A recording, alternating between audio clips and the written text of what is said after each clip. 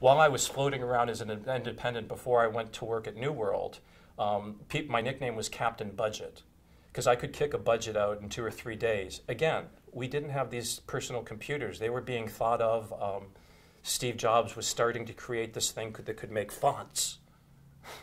and, uh, and, and Bill Gates was writing a code for a software program called DOS.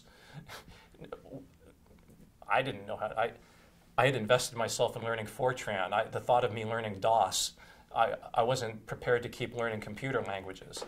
So uh, we were doing everything by hand. And I had budget templates and everything, but but you still had to get that IBM Selectrix out, and you still had to get a 10-key calculator, and on every single page of the budget, you would staple the, the tape from the 10-key calculator to prove the math on every page. That's how we did budgets.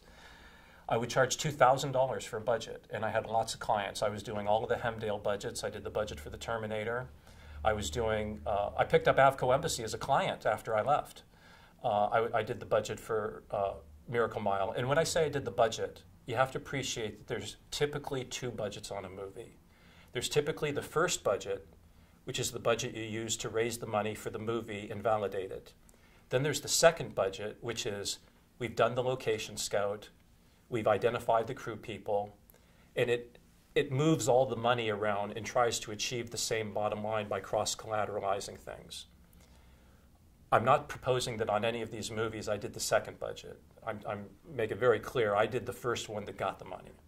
Um, like on Terminator, for instance, my budget is the budget that Hemdale brought to Orion to bring Orion into the deal. When they made the movie, they did not use my budget.